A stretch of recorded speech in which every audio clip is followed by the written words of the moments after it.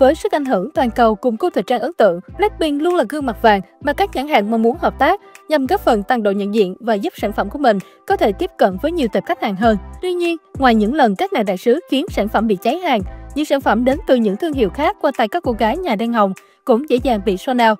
Vậy có thể để kiểm tra khả năng làm cháy hàng của Blackpink? Hãy cùng NHT K-pop tìm hiểu qua video ngày hôm nay bạn nha! 1.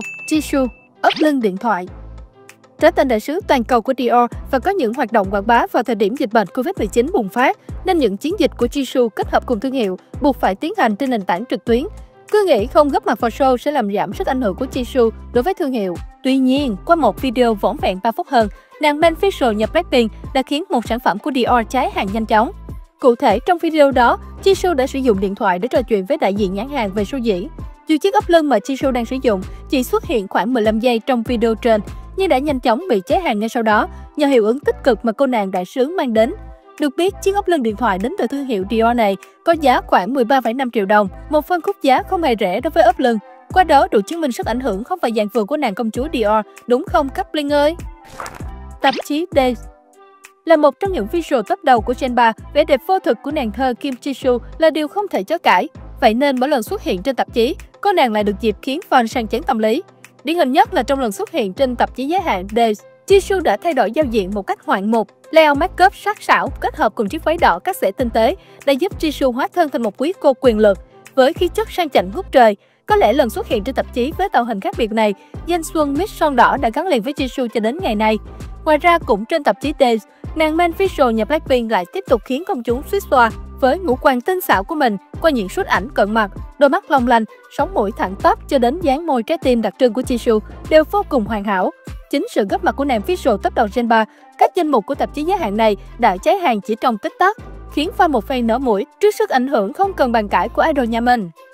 2. Jennie, chân váy Sau khi xâm chiếm thế giới trên nền tảng mới, mọi hoạt động của nàng Jennie trên nền tảng này đều nhận được sự quan tâm từ người hâm mộ.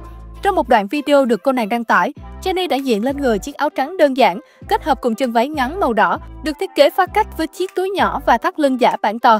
Dù có vẻ kén người mặc bởi thiết kế có phần lạ lẫm, tuy nhiên với sức ảnh hưởng của nàng X-Girl, chân váy giả da đến từ thương hiệu A-Off với giá gần 3 triệu đồng, ngay sau đó đã bốc hơi khỏi website của cửa hàng trước sự ngỡ ngàng của người hâm mộ. Qua đó có thể thấy được sức ảnh hưởng lớn mạnh của nàng Mandu nhà ta trong lĩnh vực thời trang rồi, đúng không nào?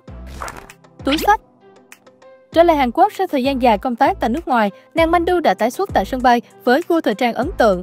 Cô nàng đã diện outfit đậm chất thu đông khi phối mũ len đến từ thương hiệu Chanel cùng chiếc áo khoác dáng lửng. Ngoài ra, cô nàng còn khéo léo lựa chọn túi sách da đen để có thể ăn nhập hoàn hảo với áo khoác, cả về màu sắc lẫn chất liệu. Dù xuất hiện tại sân bay một cách chớp nhoáng, tuy nhiên thời trang sân bay của jenny luôn được công chúng đánh giá cao. Vì thế, ngay sau đó, chiếc túi sách da mà cô nàng diện lên người đã lọt vào mắt xanh của các tín đồ thời trang và trở thành chủ đề bàn tán trên nhiều diễn đàn. Chỉ trong thời gian ngắn, mẫu túi sách với giá khoảng 30 triệu đồng đến từ nhà mốt Anh đã cháy hàng trên khắp các mặt trận. Điều này cho thấy không phải tự nhiên mà nàng Jenny là được ưu ái, đặt cho biệt danh X-Girl thế hệ mới. Mũ thỏ hồng để đón chào tuổi 27 thật rực rỡ, Jenny đã mở bát đăng tải những khoảnh khắc đón sinh nhật của mình.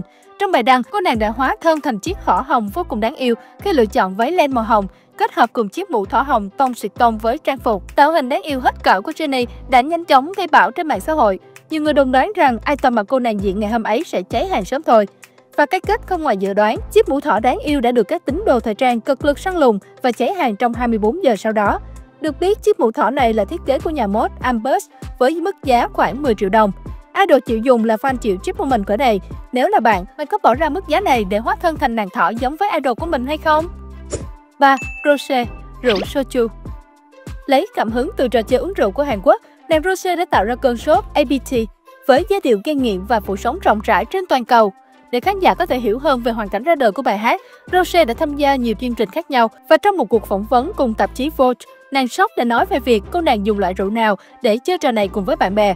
Theo chia sẻ của Rose, cô nàng đã kết hợp rượu soju cùng một loại bia khác và đây là một sự kết hợp hoàn hảo trong mắt của nữ idol. Trong văn hóa uống rượu của Hàn Quốc, soju có thể được gọi là linh hồn của bàn tiệc sau chia sẻ của cô nàng, thương hiệu soju tiếp tục phủ sóng toàn cầu và đã được săn đón ở nhiều nơi. Thậm chí, cổ phiếu của công ty sản xuất rượu soju cũng được thơm lây và giá cổ phiếu cũng tăng lên sau những chia sẻ của cô nàng, khiến fan vô cùng thích thú trước sức ảnh hưởng của cô. Tạp chí ID Với vẻ đẹp ngọt ngào và đầy nữ tính, Mọi tạo hình của Rose trong mọi tạp chí đều khiến người hâm mộ nhiều lần suýt xoa. Tuy nhiên, trong lần xuất hiện trên tạp chí ID Trung Quốc, nàng thơ Rose đã tái xuất với tạo hình khác lạ. Vừa mang nét trưởng thành của cô nàng, vừa mang theo nét đẹp ma mị hiếm thấy. Chính vẻ ngoài mới lạ và đầy sức sống của Rose đã thực sự gây ấn tượng mạnh mẽ trong mắt công chúng. Không lâu sau khi được bán ra, tạp chí in phiên bản giới hạn của Rose đã bốc hơi khỏi website chính thức, khiến fan không biết nên khóc hay nên cười. Idol nổi tiếng quá làm fan muốn chip moment cũng khó khăn hơn. Theo mô tả trên website chính thức, tạp chí in bản giới hạn mà ID kết hợp cùng với Rose có giá khoảng 700.000 đồng, bao gồm 12 bưu thiếp, một tấm áp phích hai mặt và nhiều nhãn dán khác nhau. Nếu sản phẩm mà được bổ sung lên kệ một lần nữa, có fan nào mong muốn sở hữu một bản cho riêng mình không nào? Nhẫn Tiffany Co là nàng đại sứ sang xịn mệnh nhà Tiffany Co, Rose luôn mang đến cho nhãn hàng doanh thu ấn tượng nhờ vào sức ảnh hưởng không phải dàn vừa của cô nàng. Trong một bức ảnh được chụp vội, nàng main vocal nhập Blackpink hầu như đang để mặt mộc và ăn mặc hết sức đơn giản. Dù không đầu tư nhiều về ngoại hình, tuy nhiên cô nàng vẫn thành công thu hút một lượng lớn sự chú ý của người hâm mộ. Dù chiếc nhẫn của thương hiệu chỉ vô tình xuất hiện qua bức ảnh chụp vội của nàng đại sứ, tuy nhiên với sức ảnh hưởng của Rose, ám sát nhẫn nhà Tiffany Co đã nhanh chóng cháy hàng trên website Hàn Quốc. Theo giá niêm yết trên website, chiếc nhẫn mà Rose đã làm bay màu có giá khoảng 127 triệu đồng. Dù trang sức đắt tiền nhưng qua tay nàng đại sứ, sản phẩm vẫn có thể cháy hàng một cách dễ dàng. Điều này đủ chứng tỏ sức ảnh hưởng tầm cỡ của nàng ta rồi nha. 4. Lisa Bộ sưu tập Ella để đón chào tuổi 27 rực rỡ, sau khi thành lập công ty riêng mang tên Ella, Lisa đã cho ra mắt bộ sưu tập độc quyền, bao gồm áo hoodie đen, áo phông trắng, mũ lưỡi trai và túi tót. Được biết, cô nàng chỉ phát hành độc quyền 327 sản phẩm với mức giá dao động trong khoảng 760.000 đồng cho đến 1,6 triệu đồng. Vì mức giá phải chăng và số lượng vô cùng hạn chế, bộ sưu tập đã bốc hơi chỉ trong vòng một cái chớp mắt, khiến fan chỉ biết khóc thét trước nàng idol nhà mình.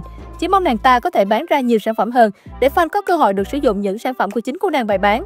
Qua đó có thể thấy được rằng, kể cả những sản phẩm của thương hiệu mà cô nàng làm đại sứ hay sản phẩm của chính mình, Lisa vẫn khiến chúng cháy hàng một cách dễ dàng, ăn không để lại vụn là như thế này đây. Móc treo túi Cơn sốt Labubu chưa kịp giảm nhiệt trước sức ảnh hưởng của nàng Lisa, thì mới đây, cô nàng lại tiếp tục tạo nên một cơn sốt khác, mang tên móc treo túi. Cụ thể, trong một story trên Instagram, Lisa đã đăng tải ảnh chụp túi hiệu đến từ nhà LV. Tuy nhiên, ngoài chú ý đến chiếc túi từ nhà mốt, sự chú ý của fan lại va vào một loạt các móc treo túi đáng yêu hết cỡ được cô nàng sử dụng.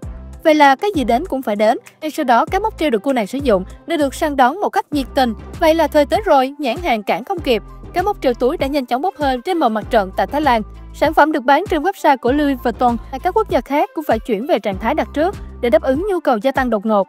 Theo thông tin được chia sẻ, các móc treo túi đến từ nhà LV có giá không hề rẻ. Để sở hữu một bát jam, người hâm mộ phải bỏ ra số tiền lên đến khoảng 30 triệu đồng. Chiều chi từ idol đến fan và các kết nhãn hàng gom order không kịp như thế này đây. Với sức ảnh hưởng mang tính toàn cầu, mỗi item các cô nàng nhà đen hồng lựa chọn luôn trở thành cơn sốt trên khắp các diễn đàn và luôn được đông đảo các tín đồ thời trang cực lực lăng xê và khiến nhãn hàng phải chật vật vì không đủ nguồn hàng để bán ra. Chính vì lý do này, các nàng dần trở thành cái tên được nhiều nhãn hàng có tên tuổi chọn mặt gửi vàng và ngày càng khẳng định được vị thế của bản thân trong lĩnh vực thời trang. Còn theo các bạn đang xem ở đây, đâu là pha cháy hàng ấn tượng nhất? Hãy để lại bình luận cho chúng mình được biết với nha. Ngoài ra các bạn cũng đừng quên đăng ký kênh và ấn vào nút chuông thông báo để nhận về những video mới nhất từ NHT K-pop bạn nha. Xin chào và hẹn gặp lại các bạn trong những video tiếp theo. Bye bye!